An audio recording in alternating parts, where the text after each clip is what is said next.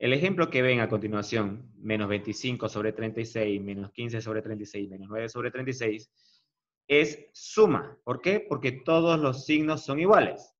Por tanto, anotamos el denominador común, anotamos los numeradores y sus respectivos signos, y como dice la regla, signos iguales se suman, sumamos 25 más 15 son 40 más 9, 49 sobre 36.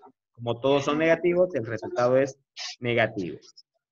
No se puede simplificar porque 49 tiene séptima y 36 tiene mitad y tercia. Por tanto, ahí queda la operación.